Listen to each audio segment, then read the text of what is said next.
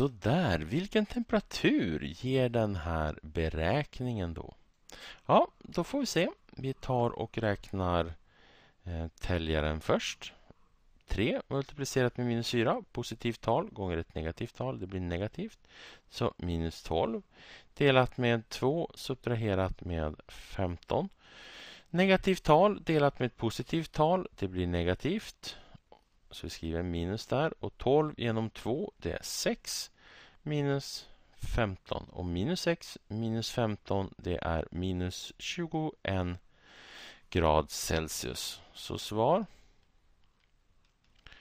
beräkningen ger temperaturen minus 21 grad Celsius.